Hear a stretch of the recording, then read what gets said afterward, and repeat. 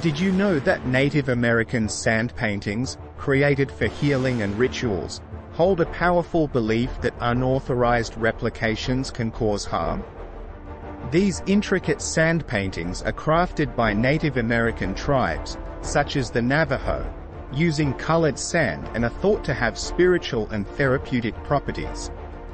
Have you ever wondered about the consequences that may befall those who underestimate the sacredness of these sand paintings?